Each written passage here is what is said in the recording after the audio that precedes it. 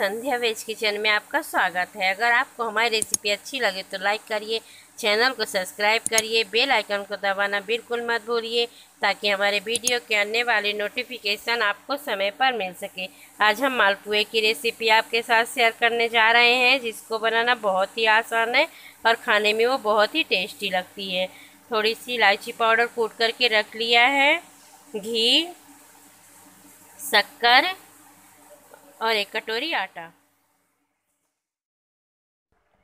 पहले शक्कर को हम घोल लेते हैं, इसमें पानी डाल देते हैं। इसमें ज़्यादा पानी नहीं ऐड करेंगे, हम गर्म पानी का यूज़ कर रहे हैं ताकि जल्दी से घुल जाए शक्कर।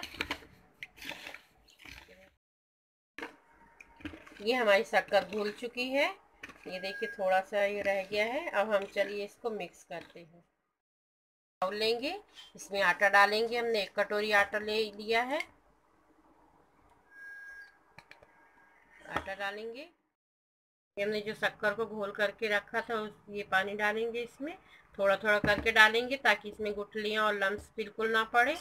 इस तरीके से मिक्स करेंगे बराबर से धीरे धीरे आराम से। ये देखिए, हमने इसमें शक्कर मिला लिया है, इतना घोल चुका है। ये देखिए, आटा हमारा घुल गया है, इसमें शक्कर मिला लिया है और हम इसमें अब घी ऐड करेंगे।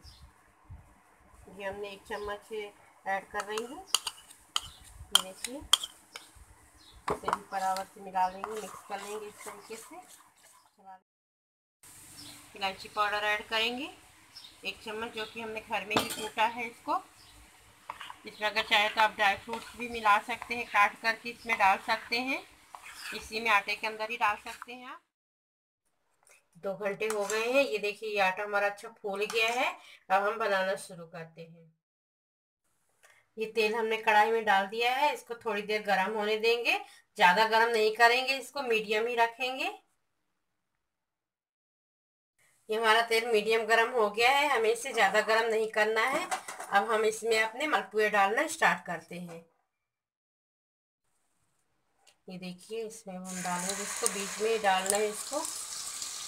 ये अपने आप ही फैल जाएगा। ये देखिए कैसे फूल रहा है।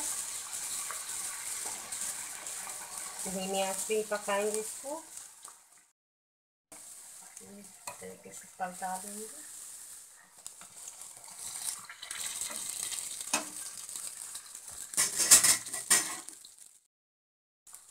ये देखिए, ये हमारा पक चुका है। अब हम इसे निकाल लेंगे। और ये एक और लेकर के इसको ऐसे प्रेस कर लेंगे ताकि पूरा ऑयल इसका निकल जाए अच्छे से। ये पूरा ऑयल निकल गया है, अब हम इसे साइड में रख देंगे। ये हमारे मालपुए बनकर तैयार है, आप भी इसे ज़रूर एक बार बनाइए।